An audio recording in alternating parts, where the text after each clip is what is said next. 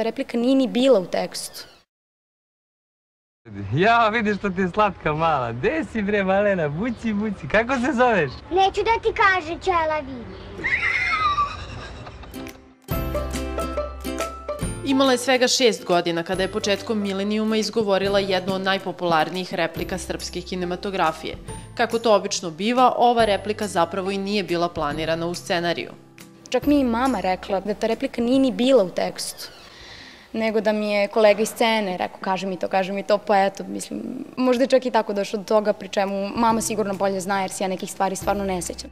Ono, po tekstu nije bila ništa drugačija replika od svih ostalih, ali kako je ušla u deo reklame. Pre premijere filma su ljudi da kažem, zapazili, a onda tek posle filma su i zapamtili. Niko na snimanju nije nimao ideju da će to, da će to biti, da kažem, eto, ključna replika.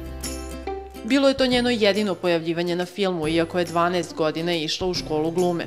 Tokom gimnazije je presekla da će upisati režiju. Danas je Tara studentkinja treće godine FDU u klasi Alise Stojanović, ali i dalje ljudi u njenom prisustvu izgovaraju čuvenu rečenicu koja uvek izaziva mnogo smeha. Kako se zoveš? Neću da ti kaže, Čelavi. To se desilo sa profesorom ovde pre manje od mesec dana kako sam došla na novo predavanje profesora je slučajno rekao i onda kad su svi počeli da se smeju je shvatio stvarno je istinita priča bila užasno smešna. Kojim situacijama ti danas kažeš neću ti kažem ćelavi? Ja ne kažem nikad. Ja je prosto stvarno nikad ne, ne koristim, ali stalno čujem. Ne seća se koliko je puta čuvenu repliku izgovorila za vreme snimanja, ali se jasno seća kako je provodila pauze između setova. Mi smo se stalno kladili, igrali smo na ljuti se čoveče, sećam se u neke orbi džvake sa marcipanom, to je tad bio hit, stalno smo se kladili, igrali smo futbal i tako. Sa Đuričkom Jezdićem, Todorovićem i drugima iz filmske ekipe nije ostala u kontaktu, ali ih redovno sreće kroz posao. Nedavno se veoma obradovala Sonji Kolačarić. Vidim kako se i oni uvek iznenade zapravo, kako sam porasla, kako sam se promenila. Uvek je vrlo srdačan taj susret.